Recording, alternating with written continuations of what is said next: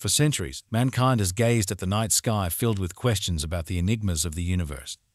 In the 20th century, scientists proposed the theory we know today as the Big Bang Theory. This theory struggled to answer crucial questions about the origin, development, and expansion of the universe. However, recent research has added even more complexity to this mystery. In 2023, NASA's James Telescope made an astonishing discovery. It detected celestial objects that were apparently older than the universe itself. This revelation has left scientists baffled, questioning the possibility that a star could exist for a period of time longer than the universe itself does. This calls into question our current understanding of the cosmos. Might it require the conception of a new model to give meaning to this enigma? These questions and many more will be answered in this video. If you're interested in keeping up to date with news from the universe and its surroundings, subscribe to our channel. Be sure to like this video and turn on the notification. Now, about 200 light-years away from the constellation, lies an ancient star known as HD 140283. The surprisingly high velocity of the star, HD 140283, at 44,833 kmph gives us valuable clues about its dramatic history.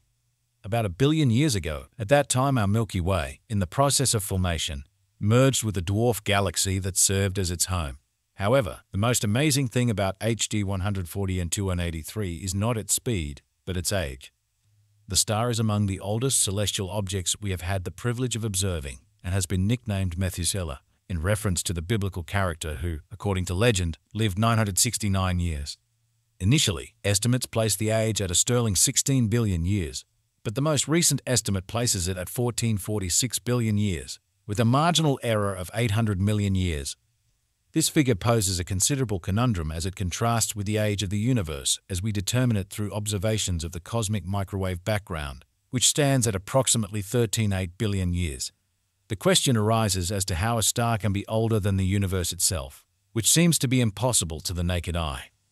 This paradox has raised questions regarding the age of the star, the accuracy of our dating methods, and ultimately the actual age of the universe, inviting further exploration of these cosmic mysteries.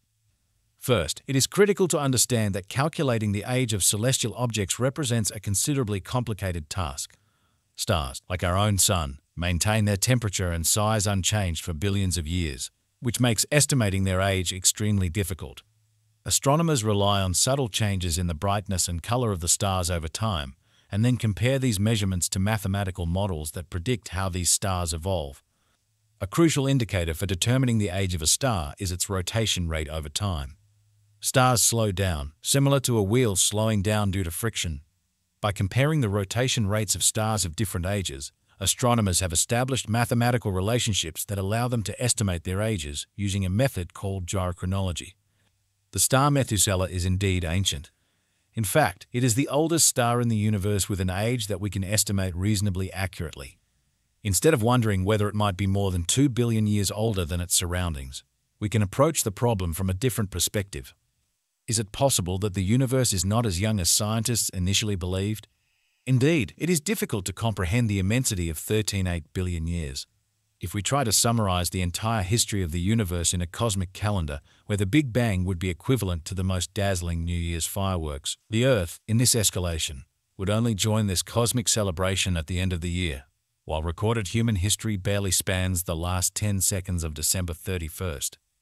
Scientists determine the age of the universe by observing the light from stars that were born hundreds of millions of years after the Big Bang.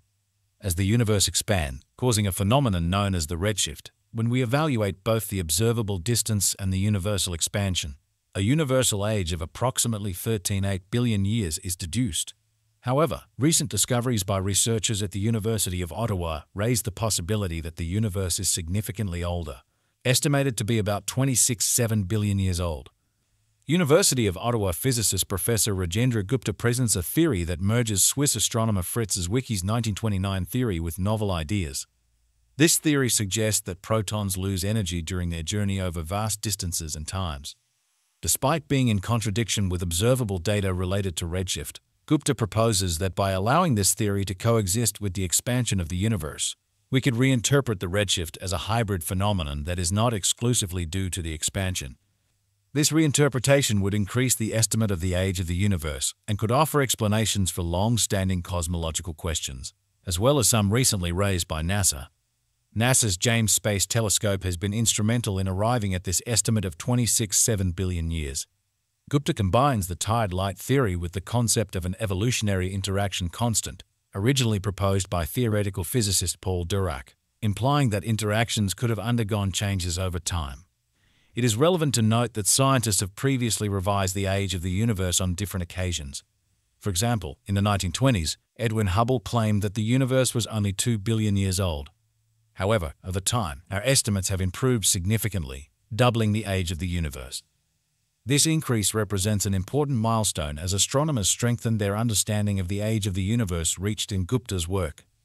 Regardless of whether we consider the recorded history of humankind to be equivalent to only 10 seconds or 5 seconds in the immense time frame of the universe, what is undeniable is that the universe is an extremely old and amazing place.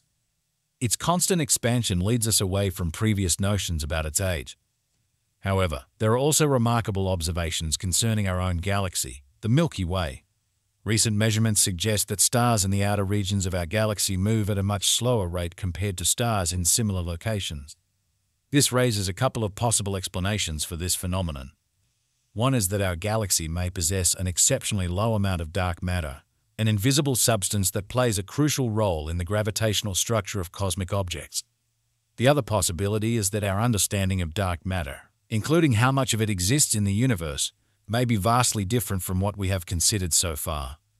This conundrum originates from data collected by the European Space Agency satellite, which provides detailed information about the positions of nearly 2 billion stars in the Milky Way. These data have led astronomers to reconsider their assessments of stellar behavior, particularly in relation to stars in the outer part of our galaxy, the speed at which stars move is an essential indicator for estimating the mass of a galaxy since the gravitational force affecting each star depends on the total mass of the galaxy. A recent study based on data collected by the Gaia satellite calculated that the combined mass of our galaxy, which includes gas, dust, stars, and dark matter, is approximately 200,000 billion times the mass of our Sun.